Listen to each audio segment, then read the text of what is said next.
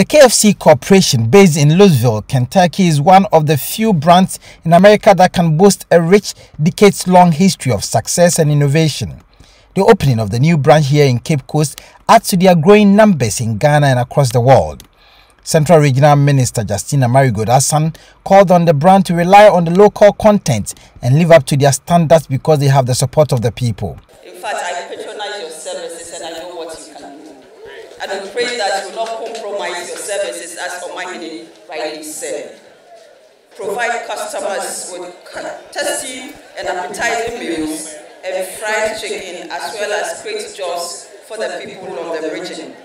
We just plead with you that employ the people of Coast. Employ the people of Coast.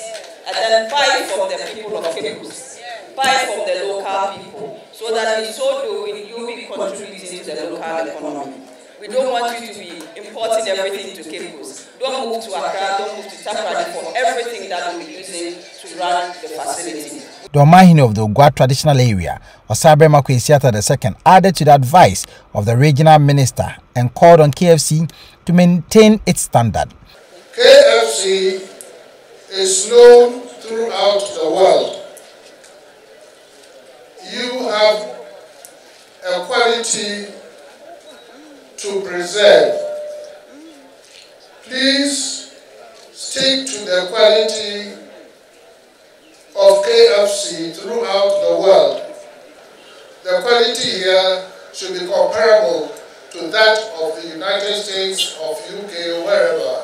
The KFC marketing manager Chris Adosakwadie thanked the people of Cape Coast for their support and promised them of quality service delivery. We are excited to open our 27th branch here uh, in Cape Coast.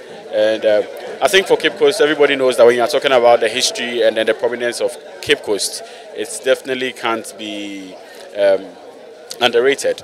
So as a business that keeps growing, as a business that keeps satisfying the consumers and the Ghanaians in general, um, we actually um, got a partnership through the Butler family and then the Goyle uh, company uh, to be able to actually uh, put up this amazing edifice to satisfy our consumer base in the central region. And we are urging all Cape Coasters to patronize KFC. Of course, affordability and then quality meals is rest assured.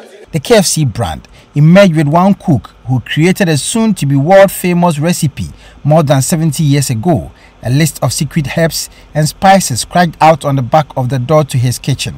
Reporting for Joy News, Richard Kwadwo Nyarko Cape Coast.